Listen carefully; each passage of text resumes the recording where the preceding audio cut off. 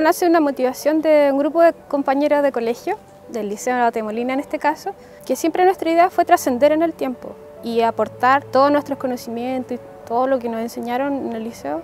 Es como volver a, retribuirlo al liceo y de ahí rescatar también personas que tengan talentos especiales y, y que necesiten también nuestro apoyo para que en realidad ellos puedan crecer en el mundo profesional y personal.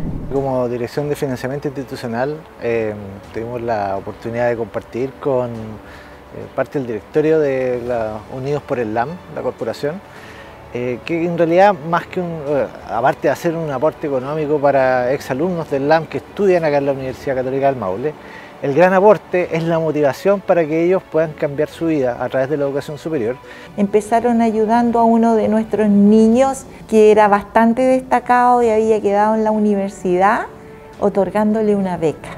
Todo financiado por ellos, por supuesto. Posteriormente ellos ya se organizaron y estuvieron harto tiempo tramitando el tema de la personalidad jurídica para establecerse como una corporación.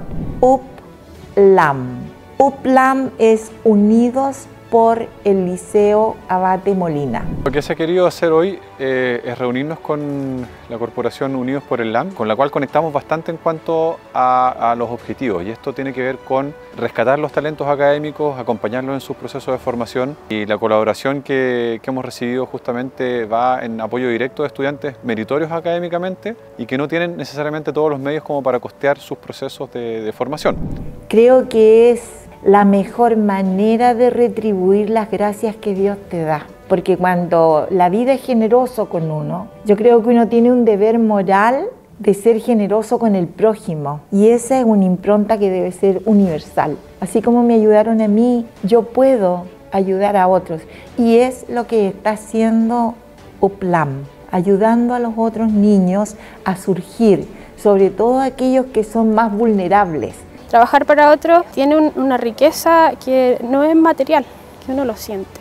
Entonces yo creo que es fundamental también entenderse que uno vive dentro de una comunidad y tiene que aportar a eso. Todos aquellos que tienen ese deseo de colaborar, de devolverle la mano al liceo para ayudar a otros, sea mayor aún con la participación de todos los que quieran. Por supuesto que queremos relevar este, este modelo eh, con el fin de motivar, por un lado, a que más eh, egresados y egresadas del propio Liceo Abate Molina conozcan de esta corporación y se puedan sumar a, los esfuerzos que se hace por ir en apoyo de estudiantes meritorios, pero también que otros egresados y egresadas de distintos establecimientos puedan tomar este modelo como una forma eh, directa y real de retribuir a la sociedad